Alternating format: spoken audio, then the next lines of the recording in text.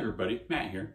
So I want to do a video on how to make uh, your own gun case out of a uh, violin case.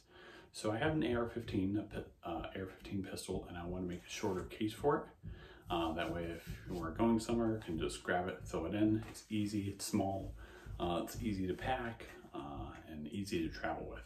Whereas the normal gun case is, you know, quite a bit bigger, it's bulky, takes up quite a bit of room. So uh, I got a uh, free violin case. It's a full-size violin uh, case.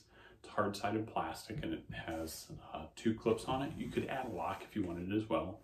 Um, I, I, would suspect it would be TSA approved uh, if you added a lock, but I can't say for certain. Um, that's something you'd have to check into.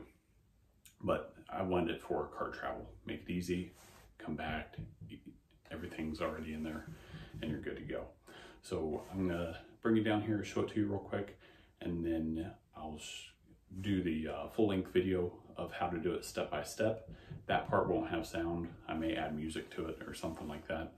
Um, and I'll try and cut it down fairly short, but I want to give you pretty much step by step so you can follow it uh, to make your own if you'd like. So I will bring you over here and show you the case. And I'm doing this on the floor so that it's easy to I'll open it up for you. So like I said, it has two clasps. Opens up. Make sure that's in camera view, and it is.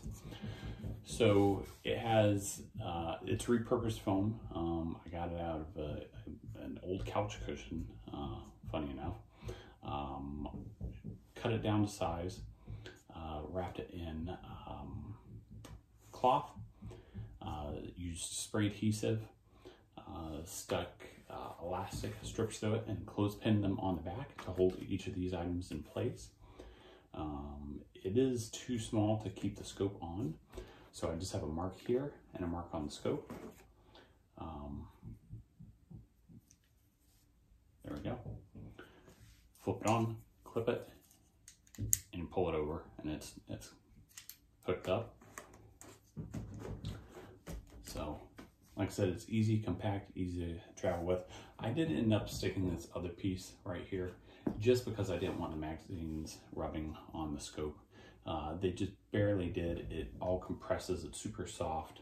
It's not going to damage it. I just didn't want it rubbing all the paint off. That way it doesn't rust, maybe. I don't know. Anyway, um, and I took the strap off and stuck it up here under this other uh, elastic as well uh, just for ease uh, of closing it. Um, but yeah, so enjoy the video. If you have any questions, uh, let me know. Otherwise, please like, share, and subs uh, subscribe. Thank you.